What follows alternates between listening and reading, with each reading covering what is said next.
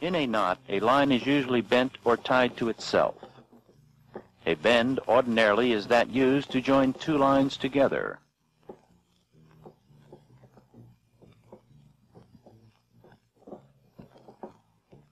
A hitch is a line tied to a ring around a spar or stanchion,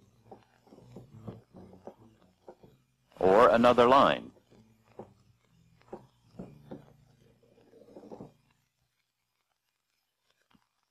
The overhand knot is a basis for other knots. It is the most commonly used and is the simplest to make. An overhand knot is made by passing the end of a line over the standing part and through the loop. An overhand knot may be used to prevent the line from unlaying, to form a knob at the end of the line, or to serve as a basis of other knots. The overhand knot is also used to increase a person's grip on a line.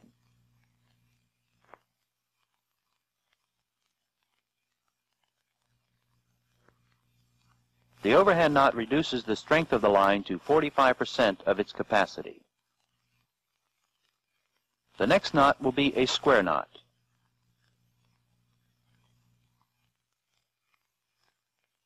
To make a square knot, Take the end of the line in your right hand and say to yourself, right line over left and left line over right. Pass the end over and under the part in your left hand. Then take the end that was in your left hand and this time say to yourself, left line over right line. Then pass it over and under the part in your left hand. Notice that in a square knot, the end and the standing part of one line come out on the same side of the bight formed by the other line. The square knot is used for tying two lines of the same size together so they will not slip. It will not hold if the lines are wet or if the lines are of different sizes. It tightens under strain, but can be untied by grasping the ends of the two bights and pulling the knot apart. The strength of a square knot is 45% of the line's capacity.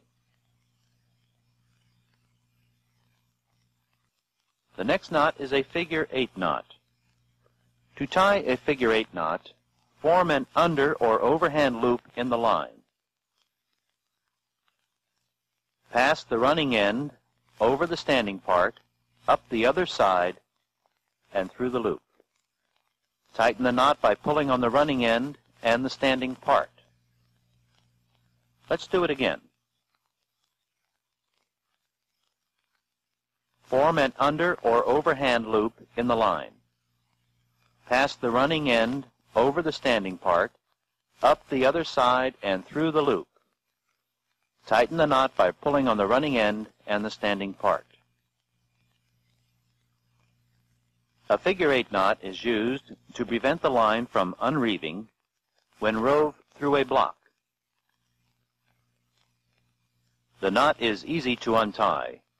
A figure eight knot reduces the strength of the line 50%. The bowline knot.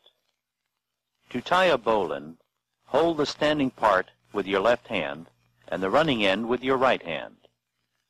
Flip an overhand loop in the standing part. Hold the standing part and the loop with the thumb and fingers of your left hand. Using your right hand, pass the running end up through the loop and under and around the standing part, and down again through the loop. Let's do it once more. Hold the standing part with your left hand and the running end with your right hand.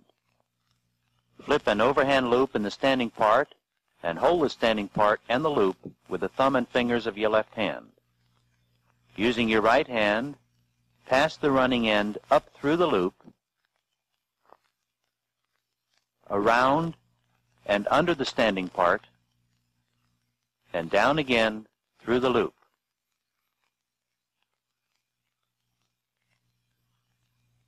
The bowline is used to tie a temporary eye in the end of a line. A bowline neither slips nor jams and unties easily.